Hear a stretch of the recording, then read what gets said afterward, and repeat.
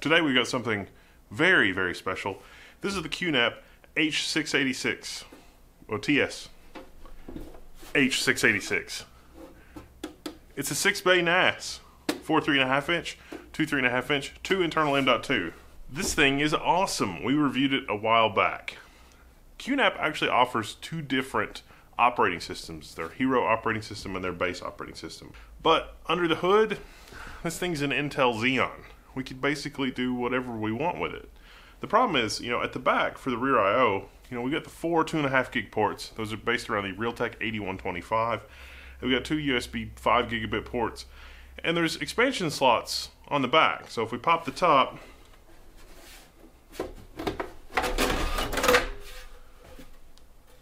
we can see a little bit more clearly what we're working with. We have two X8 slots, one here and one here on this side. Our Xeon CPUs on this side along with our dual M.2. This is basically a computer in a box.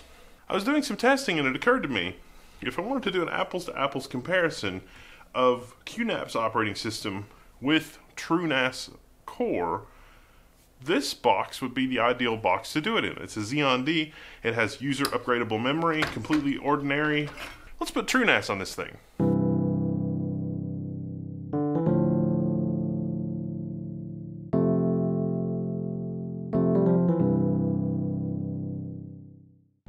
So depending on what model you got, you either got a single blower motor or a dual blower motor. This is actually a standard form factor. This is not a proprietary fan, so if you need to pick up another fan or replace it or whatever, you totally can. You just break out this little piece of plastic, put the fan there, boom, dual cooling. But in order to install an operating system on this, we need video out. You know, we reviewed other NAS that have HDMI out or, or VGA. This one doesn't have it, but it does have PCIe slots. So you can use a low power GPU, like our Quadro P2200 here, basically any GPU that doesn't have a built-in power connector. Physically, there's enough room for that X16 slot, but don't be alarmed if you see the expansion card going past the end of the slot. The end of the slot is open to accommodate cards that uh, are wider. This is basically what your motherboard does, except that it puts a dummy X16 slot in, even though the slot may be only wired for X8 electrical.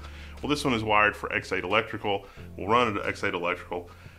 And the end of the slot is open because QNAP doesn't want to have a, a dummy X16 slot. They don't want to, you know, lead you on, get your hopes up, and then you look at it and say, oh, this is only X8. Now, if you're going to do this, one other thing I'd recommend is this. This module on the side is called a SATA disk on module. If you very carefully remove this here, it's got a little bit of hot glue holding it in. If you very carefully remove this SATA DOM module, it's 8 gigabytes. It contains the, well, maybe 16 gigabytes. It depends on your particular NAS. If you remove this SATA DOM module, that has everything on it for the operating system from QNAP. 8 or 16 gigabytes is nowhere near large enough to be able to run TrueNAS. So if you want to do this and you don't want to occupy any of your slots, I would recommend that you get a 128 gig SATA DOM module. Um, in our case, I'm just going to use an M.2. This is a Xeon dual core, four thread. It does clock kind of high, but uh, in my opinion, QNAP probably should have juiced the CPU a little more, but since this is only a four bay model, okay, I can kind of forgive it. The higher end models in this H series, like the, the 8 bay, yeah, that's a true 4 core, 8 thread, a little bit better situation. But for my purposes, this is going to work out just fine. I have pre-created our NAS USB stick. We will use the front USB, it doesn't matter. I've also attached a USB keyboard. Just a good old $5 Dell keyboard. Got a monitor hooked up to our GPU, and as soon as this thing, you know, gives me some indication that it's alive, I'm gonna start spamming the delete key on the keyboard. Allow me to play you the song of my people. That is the computer janitors. Hey, that's a good sign. We're getting a starting screen. Oh, look at that. It's a BIOS. Everything is a computer. Ah! As, uh, as you go on and get older, you will be more and more uh, angry when you discover something is a computer that you understand, but the manufacturer has obfuscated away the computery bits of whatever it is that you're working on. QNAP has done a good job here making the computery bits accessible. This is very good because ZFS, QNAP natively supporting ZFS and warranting ZFS. Very good. This is a Xeon platform, error correcting memory. Again, very good. They haven't gone off the deep end customizing things in ways that they shouldn't. Good job, QNAP. There's our BIOS screen. All we have to do is come over here to boot and pick USB disk 3.0. That's what I've done. Now, the disk on module will sometimes show up as a USB device in this. It's a bug in the BIOS. Don't worry about it. Look for your USB stick. You might see DA0. It might say USB disk module. I assure you that's our SATA disk on module. It's not very big, and you shouldn't install there. And even if you try to install there, the installer is going to say that it failed. So don't do that.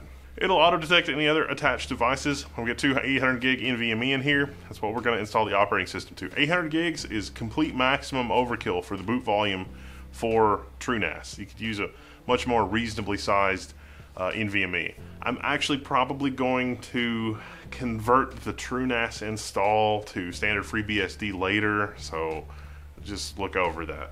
Basically, you just next your way through the installation and it'll take you back to the menu.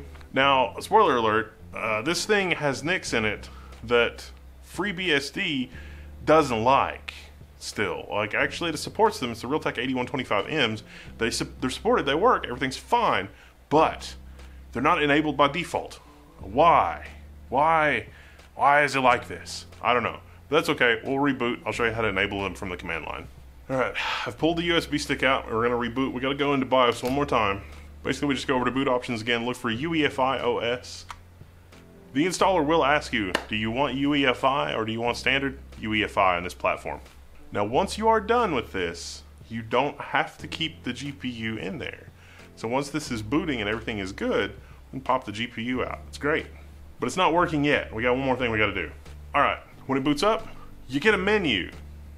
Cool. Number nine, shell. Now we're at the TrueNAS core command line. IFRE load and IFRE name. You tell it to load yes, and then you tell it where the file is. If you want to, you can do ls-l slash boot slash modules slash if underscore re.ko to make sure that the kernel module is in fact there. It is there on our installation. With that there, you got to reboot again. You can use VI or Nano or Pico or whatever your favorite editor is to add that. I use VI because why not? Now the thing that we're going to look for when this reboots is does it see RE 0, 1, 2, and 3? Remember, it's got four 2.5 gig NICs. That's pretty awesome. Oh yeah, pro tip. When you go to upgrade TrueNAS and something goes horribly wrong, if you have a GPU in there, from this boot menu, you can actually pick the previous version of the kernel. So if for some reason this thing isn't booting, you can shove a GPU in here and use a keyboard to help troubleshoot and diagnose, including booting into a previous version of the TrueNAS kernel. Excellent. This is what we're looking for. RE103, it's like link up, link down. I got one network cord plugged in, so one up, three down. That makes sense. This is going to boot up, and it's going to tell us what its IP address is at the bottom here. And then we're good to go. Great, it's working. Now we're going to shut down one more time because I want to pop the GPU out. Now that everything is installed and working, you can verify that you can reach this device on your network. You should see the TrueNAS login screen, and it should prompt you for the uh, password that you set. The username is root, and the password is whatever you set in the installer, and you're pretty much good to go. You can log in, do everything from the web GUI from then on out. Oh yeah, another pro tip: don't leave the case off of this in normal operation. The airflow design of this chassis depends on the case being on. If you don't, your, your mechanical hard drives are going to overheat. So the one beep means that it's booting. You can also see I've still got my keyboard connected, and if I turn numlock on and off, numlock goes on and off. And there we are. We're good to go. That's pretty much all there is to it. If you get lost, the guide's on the level 1 forum. TrueNAS offers a lot more flexibility than the default QNAP operating system, but the QNAP operating system is supported by QNAP. You really shouldn't want to do this. QNAP gives you ZFS out of the box. It's performance tuned. It's performance tuned for their hardware. There's a lot of reasons that make sense why you would never actually want to do this. But just because it's not recommended doesn't mean that you can't. So I have. And this is fun and it's exciting to me because I'm using things in ways that wasn't necessarily intended. If enough people do this, this may actually become a supported way that uh, QNAP lets you do stuff. It's possible, I suppose. Although IX Systems, the people that support TrueNAS, may frown upon that because you can just buy hardware from them that's supported and has a warranty and has been qualified and all that kind of stuff. Now, some of the QNAP appliances have a front little LCD screen. This one doesn't. But if you are uh, co-opting one of the QNAP devices that does have an LCD screen and it's reasonably standard, like this one, Xeon based, uh, you can actually get the LCD screen to work again. There, there are folks that have worked on that project. So, yeah, I don't know. I'm really happy with how this project turned out, and this is going to be uh, this is going to be something fun to do some apples to apples comparison with performance. This Xeon D CPU is maybe a little slow for 10 gig or dual 10 gig, especially if I'm asking it to do a lot of other stuff in the background. But uh, yeah, double check QNAP's operating system because it'll probably do whatever it is that you're needing to do. But if not, this is an option. I'm Wendell, this is Level 1. I'm signing out, and you can find me in the Level 1 forums.